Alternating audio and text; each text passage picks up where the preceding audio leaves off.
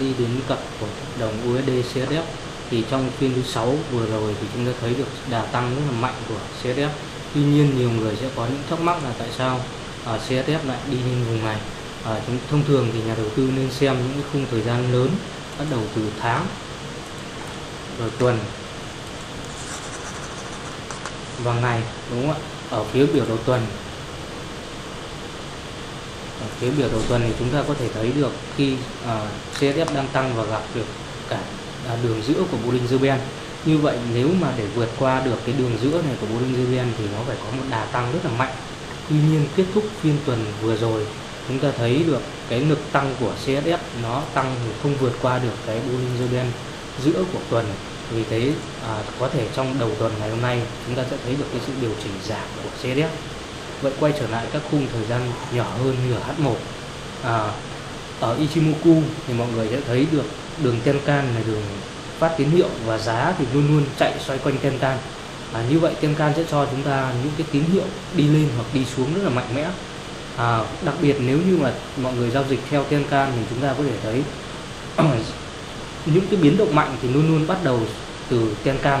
Ví dụ như hôm thứ sáu vừa rồi chúng ta có thể thấy được tem à, đường giá bắt đầu là phi rất là mạnh từ Tenkan này. Vấn đề của chúng ta bây giờ làm sao dự đoán được là thị trường nó đi mạnh về một phía hay không? Hay là nó đi hình gì? vậy có những cái hệ thống giao dịch mà đôi khi người ta chỉ cần xem xét những cái à, tín hiệu giao dịch từ Tenkan này và đưa ra những cái tỷ lệ về cắt lỗ chốt lời làm sao nó có được phần thắng lớn hơn phần thua? Ví dụ khi thông thường nếu như bắt đầu vào phiên Âu và phiên Mỹ khi những cái cây nến mà đóng cửa ở phía dưới của uh, à, Tenkan Sen như thế này à, thì chúng ta có thể vào lệnh bán và chúng ta cắt lỗ ngay ở trên đường Tenkan Sen. Như vậy thì là cái điểm cắt lỗ của chúng ta rất là thấp. Và khi tại điểm cắt lỗ để đề phòng khi thị trường đảo chiều hay thị trường có tin thì mọi người sẽ đặt những cái lệnh buy stop tại điểm SL như vậy giả sử khi cái điểm bán của chúng ta tại đây mà không đạt được lợi nhuận và quay lên SL thì cái lệnh buy stop sẽ được khớp. Và để cái TP nó sẽ lớn hơn nhiều lần của điểm SL như vậy thì là chúng ta sẽ ăn được cái tỷ lệ thắng hơn tỷ lệ lệnh thua. Đấy là cái cách giao dịch theo những cái thị trường mạnh như ở phiên Âu và phiên Mỹ.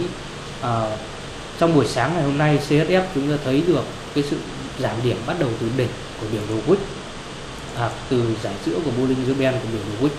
Như vậy thì là qua đó Tenkan-sen chúng ta thấy được những cái tín hiệu giảm điểm của các cây nến. Thì thông thường chúng ta sẽ vào bán tại những cái điểm mà giá con à, nến đóng cửa ở phía dưới Tenkan-sen mục tiêu là nó sẽ hướng đến những cái ngưỡng cản à, ngưỡng hỗ trợ tiếp theo ví dụ như là giá đường dưới của Bollinger Band hoặc kim Sen hoặc giảm dưới ở đám mây này. Tuy nhiên ngày hôm nay là ngày thứ hai và thị trường và có một số các thị trường nghỉ giao dịch như là euro hay bảng anh thì xu hướng của ngày hôm nay biến động khá là chậm.